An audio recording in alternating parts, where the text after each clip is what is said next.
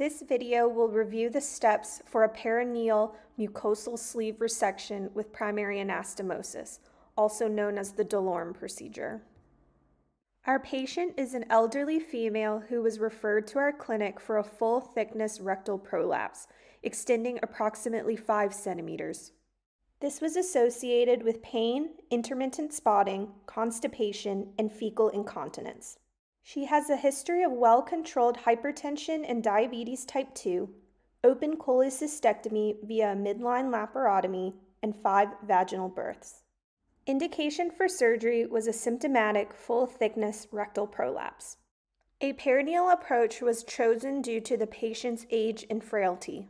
One of the benefits of performing a Delorme in this elderly patient is that if there is a postoperative anastomotic leak, it is not an intra-abdominal leak when compared to an Altemeier. Contraindications of the Delorme procedure include patients with a previous history of abdominal rectopexy and bowel resection due to opposing blood supplies. Rectal prolapses greater than 5 centimeters may be more challenging in a Delorme procedure. Current ASCRS guidelines suggest that the Altemeier may be the preferred approach in these scenarios. Spinal anesthesia may be used if the patient has contraindications to general anesthesia. Foley catheterization is at the discretion of the surgeon, but should be considered in the setting of spinal anesthesia. Key steps of the Delorme procedure include appropriate patient positioning followed by prolapse of the rectum. A circumferential partial thickness incision, which will include the mucosal and submucosal layers, will be made cranial to the dentate line.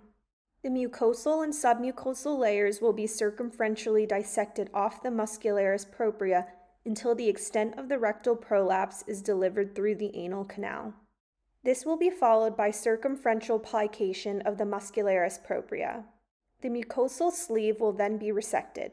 Finally, a mucosal to mucosal rectal anastomosis will be performed. The patient is secured to the operating table in the prone jackknife position. The surgical field is prepped in the usual sterile fashion using betadine similar to that of a hemorrhoidectomy. Gentle traction is applied to the rectum so that it is prolapsed through the anal canal. In this patient, the rectum was already prolapsed at the time of operation. The rectal mucosa is marked about 1.5 centimeters cranial to the dentate line circumferentially. Local anesthesia is not required in the Delorme, as significant pain is unlikely due to the anastomosis being superior to the dentate line. If the surgeons choose to use local anesthesia, this may be used for hydrodissection of the submucosal plane, in addition to minimizing blood loss if epinephrine is included. Starting posteriorly, electrocautery is used to make a circumferential incision through the mucosa and submucosa. Precise dissection through these two layers is performed, taking care to avoid a full thickness dissection. Using absorbable suture, stay sutures are placed through the mucosa in the four cardinal directions, which will later be used for the mucosal to mucosal anastomosis. Circumferential dissection along the length of the prolapse is continued, elevating the submucosa off the underlying muscularis propria. One potential pitfall is inadvertent full thickness dissection. Slow, careful dissection under tension is crucial to avoid injury to the submucosa. It is prudent to continually reassess the plane of dissection to ensure that one remains in the submucosal plane. If a small, full thickness injury occurs, the surgeons can primarily repair the injury and continue forth with the Delorme. If a large full thickness defect occurs and or the surgeons struggle to find the appropriate plane, then the operation may be converted to an Altemeier. Another potential pitfall is not dissecting out the entire length of the prolapse. The extent of this dissection is determined by placing gentle traction on the rectum until the entire prolapse is delivered through the anal canal and tension is noted. In total, approximately 7 centimeters of mucosal sleeve was dissected off the muscularis propria in this patient. Next, plication of the muscular layer is performed. Several absorbable sutures are placed circumferentially in a longitudinal fashion, beginning at the outer edge of the muscle and ending at the junction of the dissection.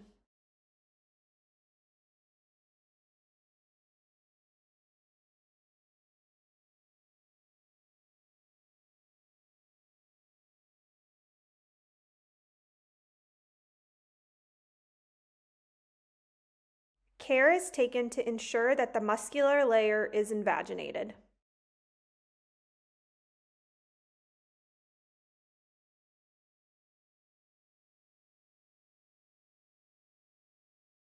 Once muscular plication is completed, a rectotomy is made through the mucosal sleeve at the posterior apex.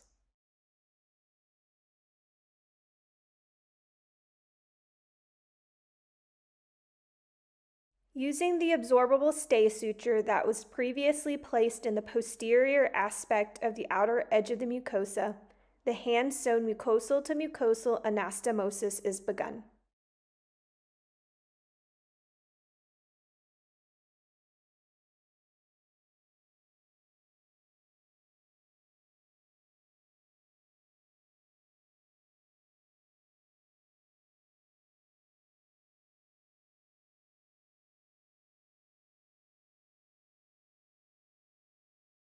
The rectotomy is extended and the anastomosis is continued in the other cardinal directions. When only the anterior apex is left, the mucosal sleeve is amputated and passed off the field as specimen.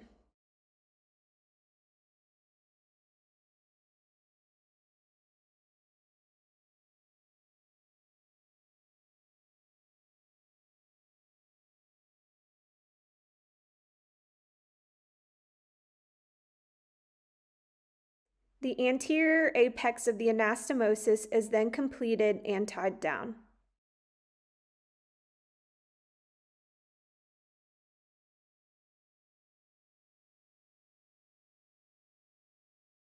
Two to three additional absorbable sutures are placed in each of the four quadrants.